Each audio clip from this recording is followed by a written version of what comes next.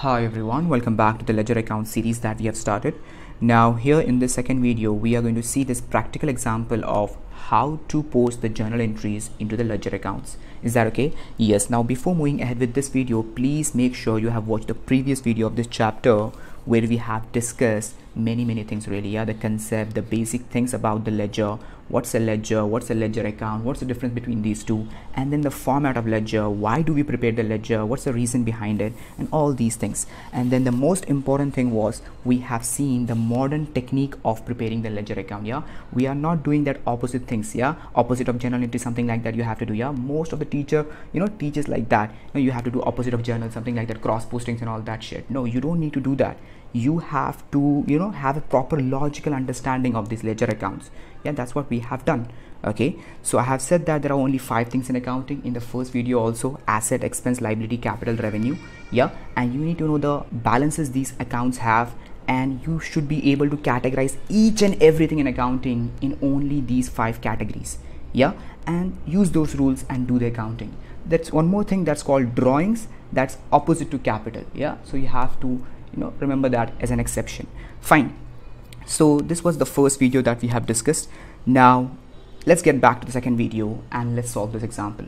Now see here first let's see the journal entries of this transaction and then we'll see the ledger postings okay? So the first transaction here we have aaron started business with cash 80000 now tell me which two accounts are involved in this Aaron has started a business with cash, so of course there is cash involved and there is capital involved. Yeah, so capital is increasing, cash is also increasing. So what's the journal entry? Simple cash account debit to capital account. Yeah, 80,000, 80,000. You all know the journal entries, isn't it? Capital has credit balance. To increase the capital, you have to do what? You have to credit and cash is an asset account to record that to increase that you have to debit that. So cash account debit to capital account.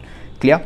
Next transaction you have is deposited into bank 50000 so what is happening due to this transaction? Which two accounts are affected? At least two accounts will be affected. So here cash account is being affected and the bank account. Bank account is increasing. You have deposited the cash into the bank and cash account your money in your hand is decreasing. It's decreasing right? So the entry would be bank account debit to cash yeah bank account debit to cash. Why is that? Because bank account has been increased you have to debit that it's an asset account 50000 and cash is decreasing 50000 simple as that. Next you have bought goods for cash 10000 yeah?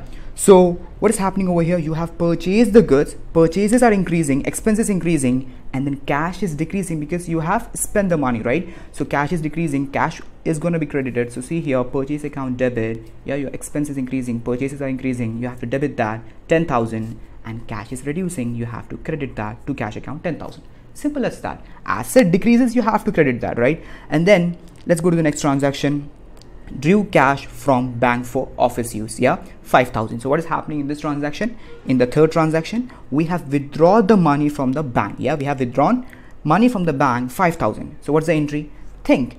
Which two accounts are affected? You have got the cash. Cash account is affected yeah? Cash is increasing. Bank balance is decreasing. Bank account is decreasing so the entry would be cash account debit to bank account isn't it cash account debit yeah cash in hand is increasing you have made a withdrawal so 5000 and then bank account is decreasing that's 5000 back to bank account credit 5000 simple as that then you have next entry sold goods to vijay on credit you're making sales to Vijay on credit. Vijay hasn't paid you anything. So Vijay is your debtor, receivables. Yeah, you have to receive money from Vijay. So Vijay is becoming your debtor and asset. So you know Vijay is increasing. The debtor is increasing. Yeah, you are gonna get money from him in future. So he is your asset, isn't it? Yeah. So the entry would be like this: Vijay account debit. Yeah Vijay account debit, he is your debtor, your asset, asset is increasing 2000. In future, you are gonna get money from Vijay. So that's why 2000 asset you have to record. Asset is increasing, you have to debit that. And sales is what?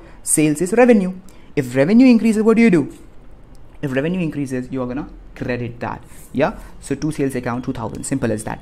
And then what do you have? Next transaction bought goods from Raif on credit 6000 you're purchasing goods from Raif on credit. You haven't paid anything. So who is Raif? Raif is your creditor. He is your payables. Yeah? Raif is your payables, isn't it? You have to pay money to him in future. So that's why liability is increasing, Raif account is increasing, liability is increasing. You have to credit that and then bought goods. Yeah, purchases are also increasing. Purchase is an expense. Expense is increasing, you have to debit that. So entry would be purchases account debit. We have made the purchases. Yeah expense is increasing. So debit the purchases 6000 and Rife is your liability. You have to pay to Rife in future. Yeah? So liability is increasing. Creditor account is increasing. So you have to credit that personal account with his name to Rife account 6000 yeah? Here what was happened? Here you were supposed to receive money from Vijay. Yeah you are supposed to receive money from Vijay. So he's your asset. Yeah because there is a future benefit there. But here there is a future obligation isn't it? You have to pay. Yeah obligation is there. So that's why you have to recognize a liability to Rife account 6000 purchases account debit to Rife. You all know this. Yeah simple simple entries. Fine. Then what happens? See here next transaction.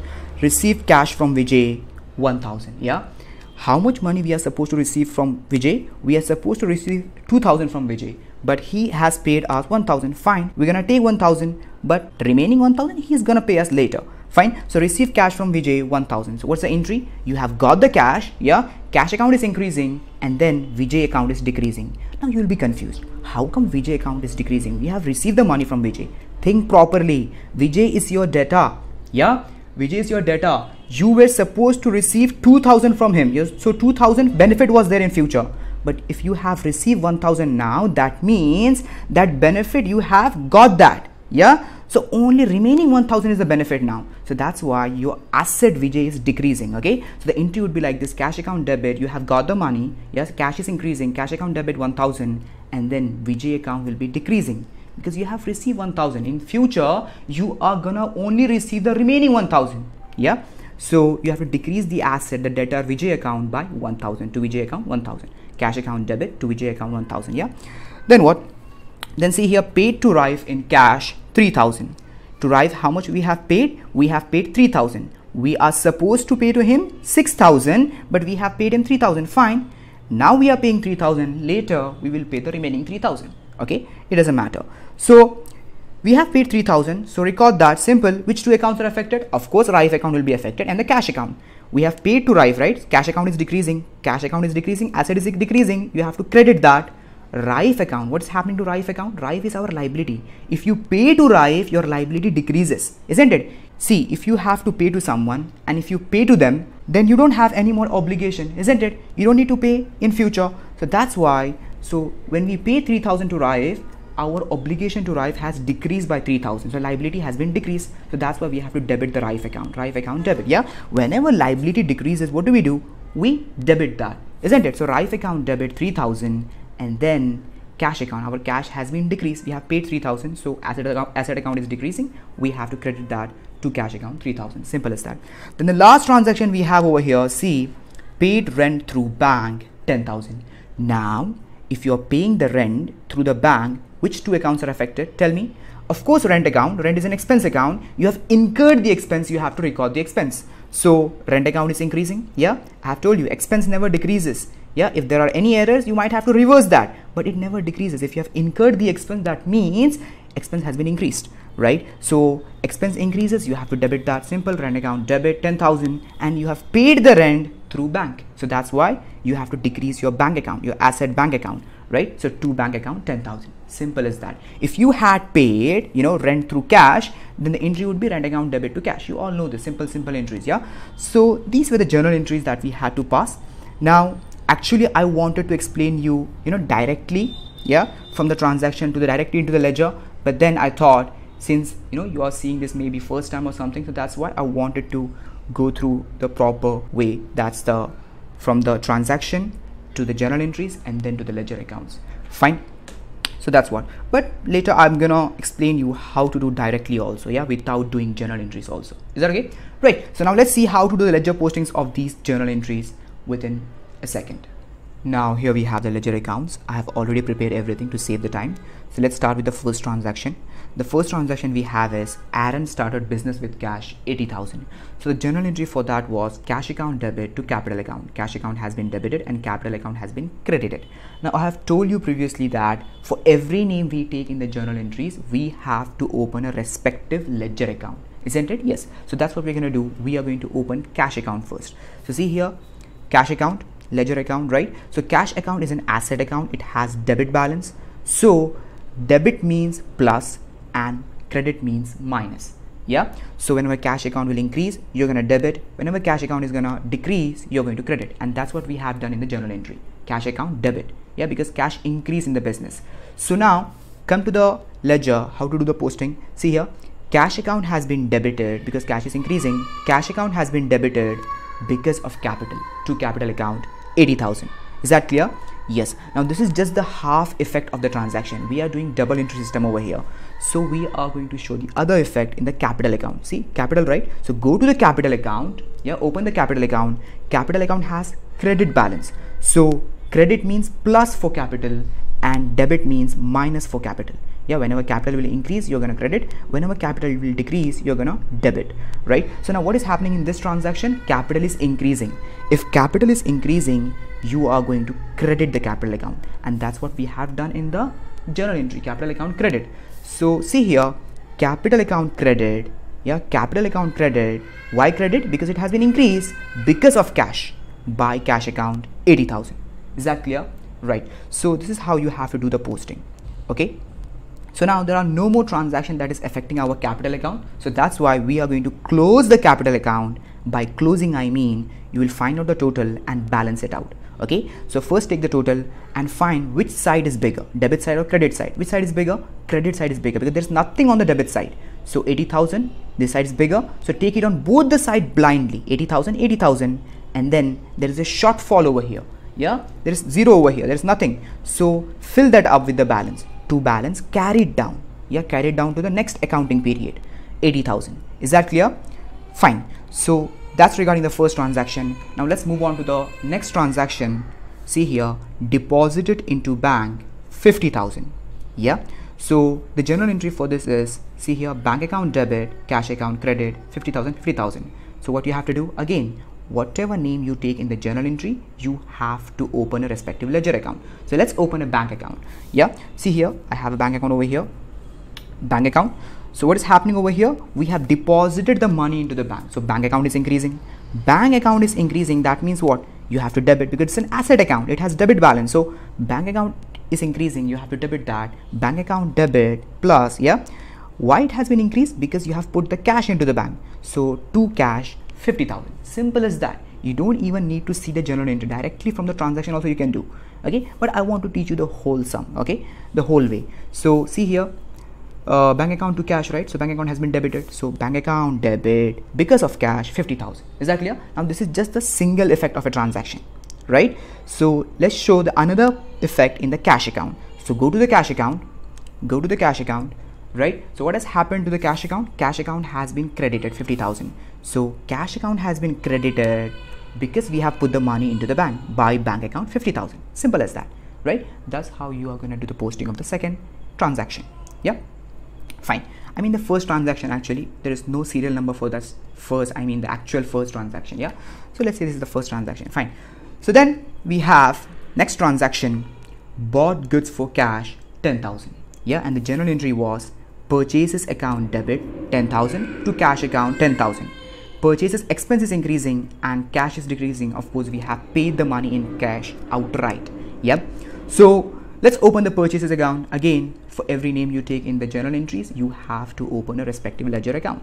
Right. So let's open a purchases account. See here purchases account. Yeah so purchases have been increased because we have made the purchases. Yeah it's an expense so it has debit balance, purchase account has debit balance. Whenever purchases increases, you have to debit. Yeah, debit means plus for purchases, right? So purchases are increasing because you have paid the money in cash to cash account 10,000. Is that clear? I mean, you have purchased the goods for cash. Yeah, so purchase are debited. Yeah, and you have paid the money cash right? If you had not paid the money, let's say you have bought the goods from Simon on credit, Simon, so what you would have done, the entry would have been purchases account debit. We have made the purchases from Simon, so to Simon, like that. But here you have paid the money outright, no person's name will come, yeah? From whom you have purchased, that name will not come. You will just take to cash account, 10,000. Is that clear? Right. So that's what. Now the other effect you have to show in the cash account. So let's go to the cash account. See here in the cash account, yeah? So when you make the purchases, what happens? When you make the purchases, your cash decreases. Cash account credit, yeah, that's what we have done in the journal entry. Cash account has been credited, right? So cash account credit because of purchases by purchases account 10,000. Is that clear? So this is how you have to do it. Cash account has been decreased. It has been credited because have we had made the purchases with the cash. 10,000. Is that clear? So that's the posting regarding this transaction, bought goods for cash. Next we have drew cash from bank for office use. Yeah. What we have done, we have done a withdrawal from the bank. Yeah. So the money is 5000 and the journal entry for that was cash account debit. Yeah. Cash in hand has been increased, but the bank balance has been decreased. So let's go to the cash account. Yeah. Cash in hand has been increased because we have made the withdrawal. So cash account debit because of bank to bank account 5000 is that clear now the other effect in the bank account you have to show go to the bank account. In the bank account what has happened? See bank balance has been decreased because you have withdrawn the money. So bank account credit bank account has been decreased because you have made a withdrawal in cash. So by cash account 5000 is that clear? So for every transaction there will be two effects. Yeah? A debit and a credit. And both of them have to be equal. But sometimes you will have compound entries where there will be three or four accounts will be affected. But still in together the debit will always be equal to credit. Okay sometime what can happen you know one one debit will be equal to three credits yeah like that don't worry we'll see that in the next video yeah so moving on to the next transaction we have sold goods to Vijay on credit yeah we have sold the goods to Vijay on credit so Vijay is our debtor. Debtor means what? Debtor means asset, right? Vijay is our asset and we have made the sales. So the entry for that was, see here, Vijay account debit 2000 to sales account 2000. Yeah. So let's open Vijay account and sales account. See here, Vijay account, right? So Vijay is our debtor. He's our asset. So it has debit balance. So debit means plus and credit means minus over here for this account, right? So we have made the sales to Vijay so our asset is increasing, Vijay is increasing because we have a future benefit now. We are going to get money in future from Vijay. So Vijay account is increasing because we have made sales to him. Yeah, Vijay account debit because of sales, right? So to sales account 2000. Is that clear? Now that's just a single effect. Now we have to go to the sales account, yeah, sales account and show the complete effect. So come to the sales account what has happened what has happened to the sales see here sales account has been credited and that's what we're going to do in the ledger account okay nothing different so sales account has been credited yeah sales are increasing because we have made the sales isn't it? Sales are increasing. So sales account credit sales are increased because of Vijay. We have sold the goods to Vijay. So by Vijay account 2000 is that clear? So that's a complete effect of that transaction. Fine. Moving on then what do we have?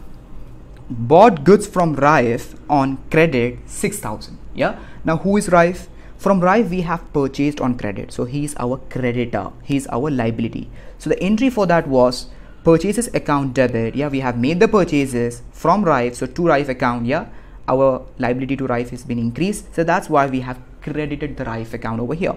So purchase account has been debited rife account has been credited. So now what we have to do? We have to go to the purchases account. See here we have to go to the purchases account and then purchases have increased. We have purchased goods. Yeah we have got the goods. So purchases have been increased yeah because of rife to rife account 6000 is that clear? Right then go to the Raif account. Go to the Raif account. Yeah you have to open the Raif account. So go to the Raif account. Raif is our creditor. Yeah this account has credit balance. This is a liability account. It has credit balance. So debit means what? Minus and credit means plus. Yeah? So now here what is happening? Our liability to Raif is increased. We have a future obligation to pay to Raif so Raif account is increasing. Our liability is increasing because we have made purchases. So Raif account credit by purchases account 6000 is that clear? Raif account has been credited because of purchases. Is that clear? Right. Then what happened? Moving on to the next transaction. Next transaction we have is see here received cash from Vijay 1000 yeah? So we are getting money from Vijay. So the entry for that was cash account debit to Vijay account. So cash account has been debited. So go to the cash account. See here cash account has been debited yeah cash is increasing because we have received the money from Vijay cash account debit because of Vijay so to Vijay account 1000 is that clear right then the other effect you have to show in the Vijay account, go to the Vijay account, see here, go to the Vijay account. Vijay is an asset. Yeah, Vijay is our asset. He has paid money to us. We have received the money from him. So our asset is decreasing. I have already explained how is that. Yeah, Vijay account is decreasing because we have received the cash from him by cash account 1000. Is that clear? Is that clear to you?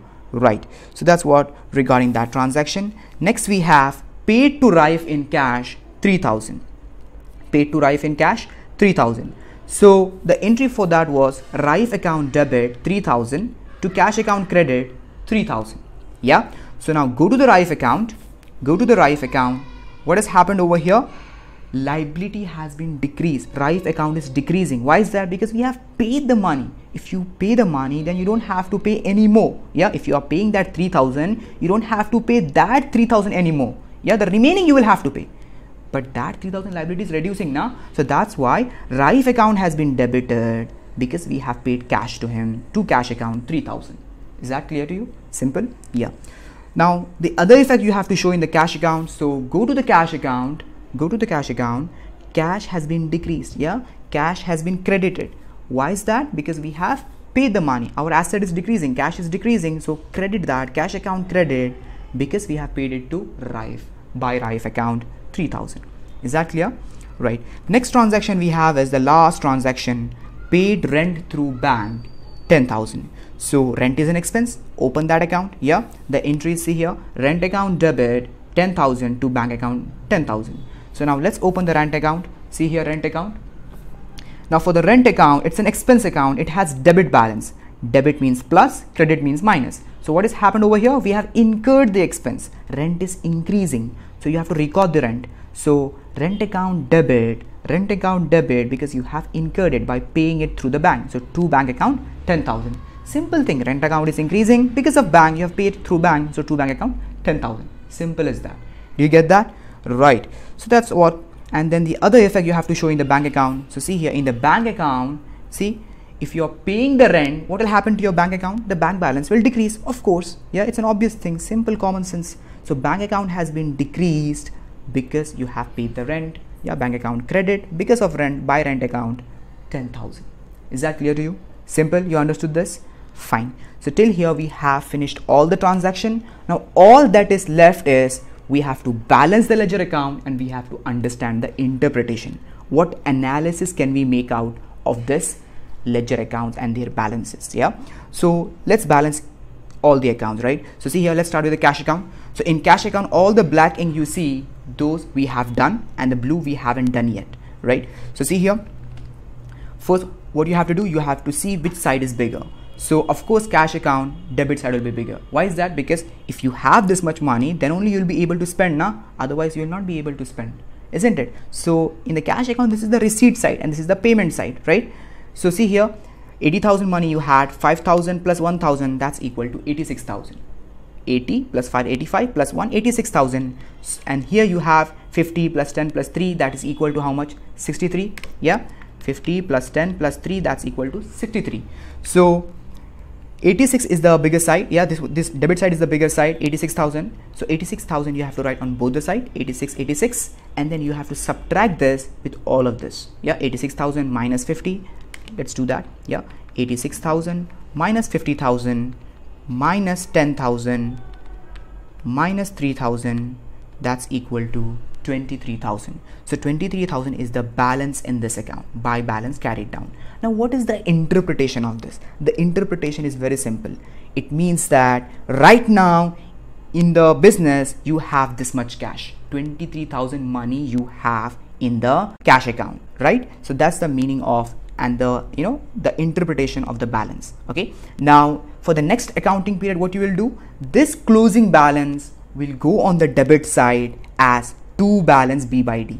That's why we call that you know cash account will always have debit balance. Why? How come debit balance? We are seeing that it is on the credit side. How are you saying it has debit balance? We are seeing that it is on the credit side. See this credit side it will go on the debit side for the next accounting period as to balance b by d. That's what happens. Okay so you're clear with that? Right. Moving on capital account we have already done. Yeah 80000 nothing over here. So 80000 on both the sides and the balancing figure to balance carried down 80000 now what's the analysis of this? In the capital account it's showing that we have you know 80000 balance. What's the analysis of this? See it's very simple. It means that the owner of the business the sole proprietor the owner of the business has claim on this business of 80000 he has invested 80000 in this and he has not taken anything out of the business for his personal use. Yeah? So that's why he has a claim on the business on the total assets of the business of how much? Of 80000 he hasn't made any drawings or anything. So he has this whole claim 80000 is that clear? So that's the meaning of this balance in capital account. Moving on then let's go to the bank account. See here. Bank account same like cash only right? So let's first balance. So 50000 here you have and here you have 5 plus 10000 so which is the bigger side? Of course the debit side. So 50000 on both the sides you have to write. Yeah that's how you balance. Write it on both the sides and then go on deducting from the credit side. 50000 minus 10000 that's equal to 40000 minus 5000 that is equal to 35000 so that's your balance. By balance carried down 35000 again what is the meaning of this balance? It means that in your bank account you have 35000 money. You have this much balance in your bank account. Okay? Now for the next accounting period what will happen? This will go on the other side on the debit side. To balance b by d over here. Okay over here it will come right? So that's the analysis of this balance. Moving on then we have vijay account over here. In vijay account we have sales and cash over here. So 2000 sales we have. So take that because this is the bigger side right? So 2000 on both the sides. And then 2000 minus 1000 that is equal to 1000 so by balance carried down it is 1000 right we understood how to do this. But then what's the analysis of this? The analysis is the interpretation is that just by looking at the Vijay account we can understand we have to receive 1000 money from Vijay. Let's say you have a company or something then you will have lots and lots of transaction with only one customer and you will be maintaining their you know personal T account such as like this one yeah Vijay account. And so many transaction will be there. So what you're going to be doing all those transactions will be summarized like this in this one T account and you will have one balance over there. So at any point in time you will be able to understand how much money you have to receive from this customer from this credit customer right? So by balance c by d 1000 means we have to receive 1000 from this guy. Is that clear? Right. Moving on then to the sales account so sales account we have we had only this 2000 yeah we have only made 2000 sales to vijay. So that's the bigger side. Credit side is the bigger. So take it on both the sides. 2000 2000 there is nothing over here. So what you're going to do? Same way to balance carry it down 2000 is that clear? Again the same thing okay? This will go on the debit side. To balance B by D. Vijay account is a debtor account, it will always have debit balance. So in the next period, it will go over here to balance B by D brought down. Is that clear? Right. So here, as you can see now the sales, we have over here 2000. So it means that in this period, we have made 2000 sales in total. Is that clear? Right. So that's what, and it has always credit balance sales. It's an income. So here it's shown on the debit side, the closing balance, but in the next period, it will go over here as an what as a credit balance over here by balance b by d is that clear right next we have purchases account. Now in purchases we have made two purchases. One cash purchase and one rife purchase. We have purchased goods from rife on credit. Fine. So now what we have to do? We have to balance this account. So 16000 16000 on both the sides. Yeah 10000 plus 6000 nothing over here. So we have to take the total the bigger side on both. 16000 16000 and then balance it out by balance carried down 16000 yeah. Now what's the meaning of this? It means that in this period, yeah, in this accounting period, we have, you know, total purchases of 16,000. That's the analysis and the interpretation of this balance in purchases account. Next, moving on, then we have Rife account. So in Rife account, see here, the bigger side is the credit side. Yeah, think the blue is empty. Yeah, only the black. So by purchases account 6,000, 6,000 on both the sides. And then here we have shortfall of 3,000. Yeah, because only 3,000 is there. Yeah. So 3000 shortfall deficiency is there. So you have to fill that up by the balance to balance carry down 3000. Fine. So Rife is your creditor. You have to pay money to Rife. Yeah. Again, the same thing for a single supplier, you will have so many transaction in a real business. Yeah. Now here Rife is there, right? So you will be having so many transactions with Rife. 25 50 transaction in one accounting period. Maybe more than that. It depends upon the size of the company or the entity right? So what will be happening is all those transactions will be summarized into one ledger account one t account and you will have one figure and at any point in time you will come to know you know how much money you have to pay to that supplier right? So from this balance c by d 3000 we can understand we have to pay 3000 more to rife. Yeah that much we owe to rife. Yeah? So that's the interpretation of this balance. Clear fine. Next we have rent account. See here on the rent account the debit side is 10000 nothing on the credit side. So what you're going to do? Simple balance it out. By balance carry it down 10000 yeah you just have to fill the deficiency. That's all. Yeah. So RIF account had which balance? It ha has the closing balance on this side on the debit side but the nature of the RIF account liability account is credit. Yeah credit balance. It's a liability. So this balance will go on this side. Yeah by balance brought down. Okay in the next accounting period. Now in the rent account also what what is there? It has debit nature of balance yeah? So the closing balance will be on the opposite side on the credit side but the opening balance in the next accounting period will go on the debit side. Is that clear? Right so this is how you have to do it. Yeah i think you are perfectly clear now with all the transaction i mean all the postings over here and then the balances and all. You are perfectly crystal clear with everything. If you have any doubts then please contact me on instagram or you can comment down below over here right? So that's it yeah? This is how you have to do the ledger accounts yeah? You need to know the what kind of balances you have and for each and every item you should be able to classify everything into only these five categories asset liability expense revenue or capital yeah? In these five. If there is drawings then that's opposite of capital yeah? Do opposite of capital like that. So this is how you have to do it. Fine so that's it for this video. In the next video we are going to see a more comprehensive problem. So this is it for this video okay? See you in the next video. Bye